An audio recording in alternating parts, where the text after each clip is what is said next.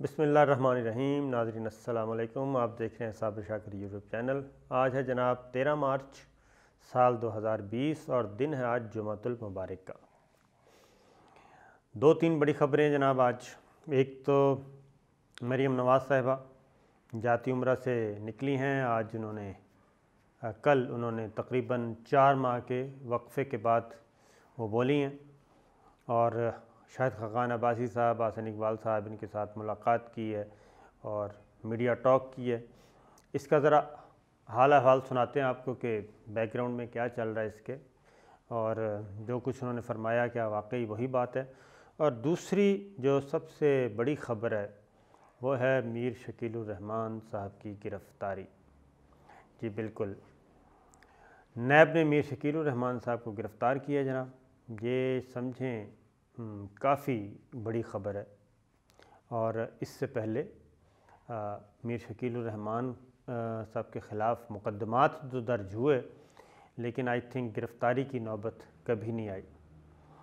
और इनके ख़िलाफ़ आज मरियम बीबी का जो उसका फौरी रिएक्शन सामने आया तो वो था आपने देखा भी होगा कि ओ माई गॉड? ये वाला उनका था रिएक्शन उनकी गिरफ़्तारी पे जब उनको बताया गया कि मीर साहब को गिरफ़्तार कर लिया गया है तो उस पर ज़्यादातर था। तो सबसे पहले जो इनकी मिड भेड़ हुई थी मीर शकील रहमान साहब की, वो इत्तफ़ाक़ की बात है, शरीफ फैमिली के साथ ही हुई थी। नवाज़ शरीफ साहब ही की हुकूमत थी और उसी ज़माने में ये सब कुछ हुआ था।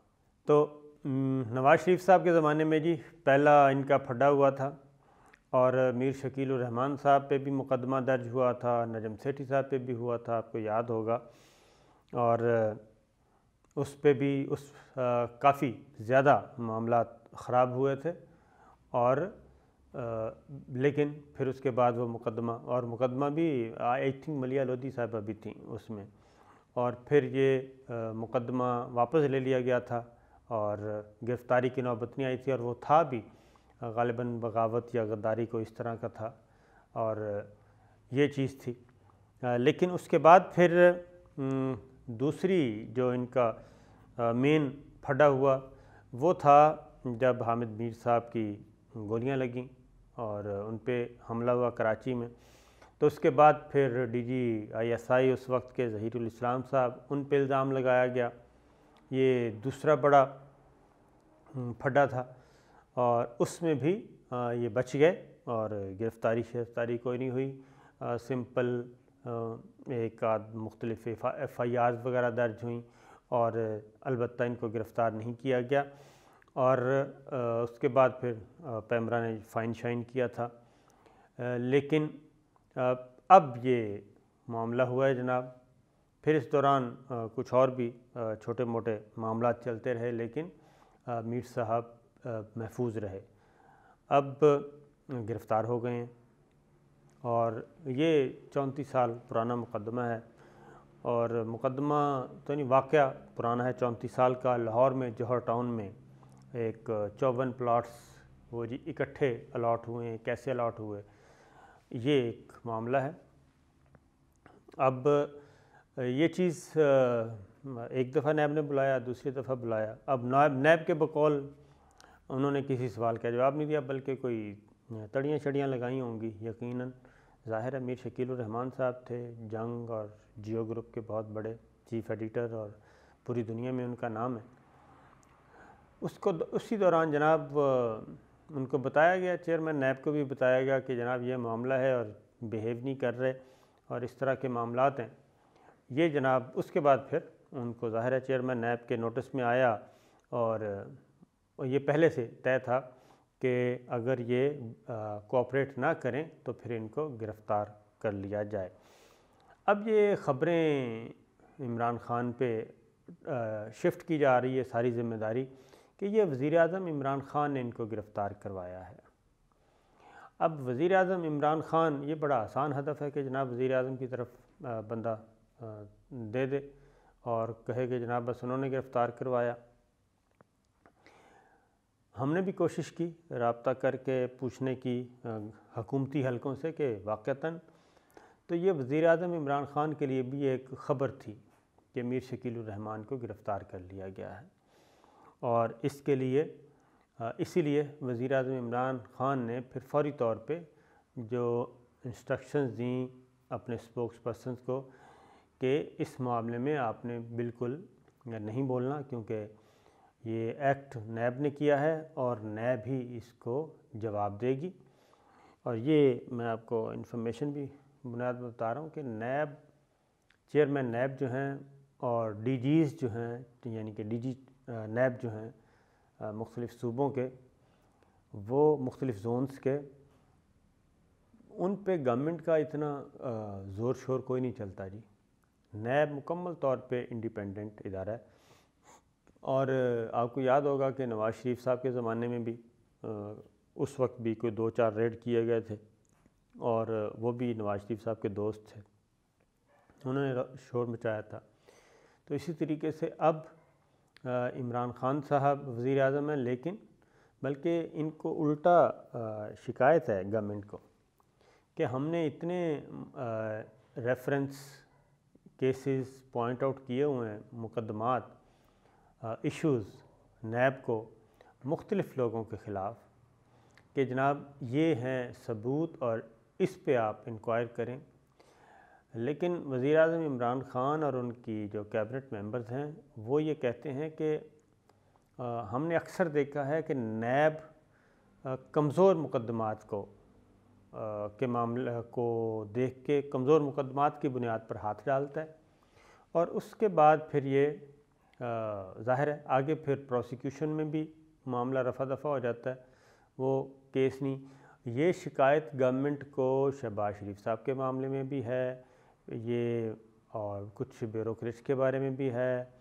और कुछ, क्या कहना चाहिए, नून लीग के दीगर रहनुमाओं के बारे में भी है।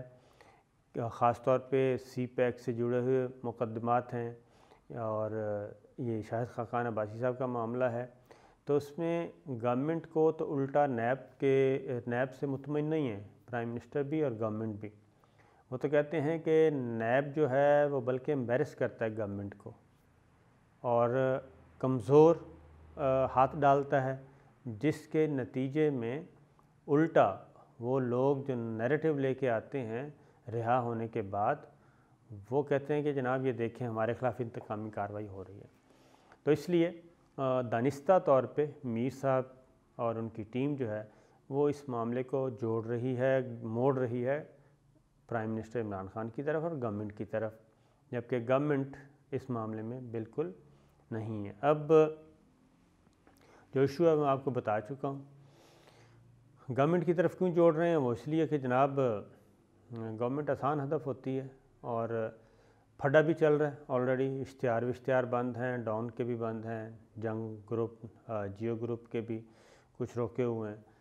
तो इसलिए अब उस सारे मामले को, अब एक चीज़ मैं आपको बता दूँ कि आज जितना शोर मचाएगा तो असल में वही है कि अल्लाह ताला को कहते हैं कि वो डरना चाहिए। अल्लाह ताला की लाठी बड़ी बेआवाज़ होती है। बोल ग्रुप था जी आयात आ रहा था और बड़े बड़े जर्नलिस्ट और अच्छी खासी टीम ज्वाइन कर चुकी थी बोल टीवी को। लेकिन उसकी लॉन्चिंग से पहले ही उनके ख़िलाफ़ एक ख़बर लगवाई गई थी बाहर के मुल्क में और उसकी बुनियाद पे फिर नवाज़ शरीफ साहब की गवर्नमेंट थी और उस बुनियाद पे उनके ख़िलाफ़ सारे क्रैकडाउन किया गया और उस बोल अखबार ने आना था, बोल टीवी ने आना था लेकिन वो नहीं आ सका जिसके नतीजे में हज़ारों लोग जो हैं वो बेरोज़गार हो गए जर्नलिस्ट थे वो भी और दरबदर हुए और उनमें से बहुत से आज तक भी दरबदर हैं। तो ये बोल टीवी की लॉन्चिंग को भी आ, मीर साहब ने ही आ, सारा चीज़ें जो कहते हैं कि जो कंपेन जो थी वो बज़ाहिर इसी ग्रुप में आ, चली थी ज़्यादा। तो ये चीज़ें हैं इसलिए कहना कह, कहते हैं कि as you sow so shall you reap तो उससे बचना चाहिए। तो मीर साहब की गिरफ़्तारी। अब एक अजीब व गरीब किस्म की डिमांड्स आ रही थी। अब एक और बात भी बताता हूँ। अब इससे ख़ुद अंदाज़ा कर लें कि इमरान ख़ान साहब क्यों मीर साहब को गिरफ़्तार करवाएँगे? क्योंकि ए पी एन एस का तो मंडे को इजलास था मंडे ट्यूसडे को नेक्स्ट वीक एपीएनएस का इजलास था और एपीएनएस की मीटिंग प्राइम मिनिस्टर खान से थी गवर्नमेंट के साथ थी और उसकी तैयारियाँ की जा रही थी। फिर यह कि आज आ, कल ही यानी कल मीर साहब गिरफ़्तार हुए हैं। दोपहर के बाद दोपहर में एक नोटिफिकेशन भी हुआ कि मीडिया के साथ फोकल पर्सन के तौर पे एक अपॉइंट किया गया समथिंग हारून साहब उनको अपॉइंट किया पीबीए की तरफ़ से कि जनाब ये होंगे फोकल पर्सन और ताकि मीडिया और गवर्नमेंट की वर्किंग रिलेशनशिप अच्छी रहे और कोई मिसअंडरस्टैंडिंग ना हो। तो ये चीज़ थी। ये कहना ख़ुद, अज ख़ुद एक मामला ख़राब करता है। और दूसरा जनाब मरियम बीबी का मामला आपको बता दूँ कि मरियम बीबी आ तो गई हैं मैदान में और उन्होंने खुल के बात नहीं की, बिल्कुल भी। और उन्होंने कहा है कि दो तीन मैसेजेस दिए उसमें थ्रेट भी था और उसमें ये भी था कि मेरे लिए आसानियाँ पैदा करेंगे तो फिर ठीक है, अगर मेरे लिए आसानियाँ पैदा नहीं होंगी तो फिर मैं आ भी सकती हूँ अमली सियासत में।